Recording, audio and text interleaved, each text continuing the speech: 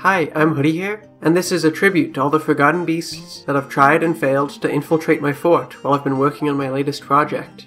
Times are tough for Forgotten Beasts in New Dwarf City right now. They used to be able to just walk on in, and as long as they didn't come into contact with any of my dwarves, they could settle down somewhere in the caverns and kill plump helmet men to their heart's content. But now, when a giant Gila monster with lidless eyes, or a three-eyed woodpecker with a trunk, come to lay claim to the fortress, they risk showing up on the wrong layer and being torn apart by tarantula fiends, or being burnt to death by specters of flame in the underworld. And even if they do come to the right layer of the cavern, like the towering hairy unicorn shrimp or the noseless humanoid coyote did, it is filled to the brim with cavern dwellers who have laid claim to every inch of the caves, and have no problem stabbing a large shrimp to death. And then, even if everything goes right for a forgotten beast, like the bloated three-eyed warbler who managed to pick the right layer and avoid the pockets of reptile people, they still risk running into a humanoid vomit creature who had already made that layer their territory. If there is no solidarity between a warbler and sentient vomit, then what hope do forgotten beasts have for getting themselves established?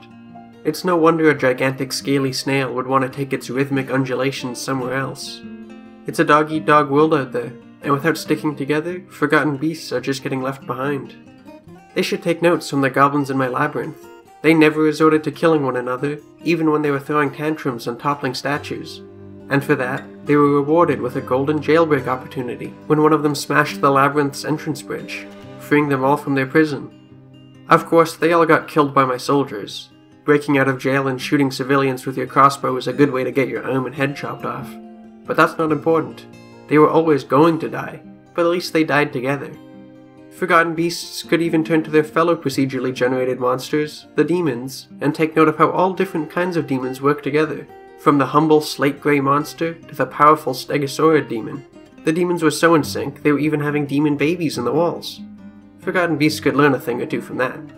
And I hope they do, because otherwise New Dwarf City might not be the place for them. Thanks for watching, and I'll see you next time.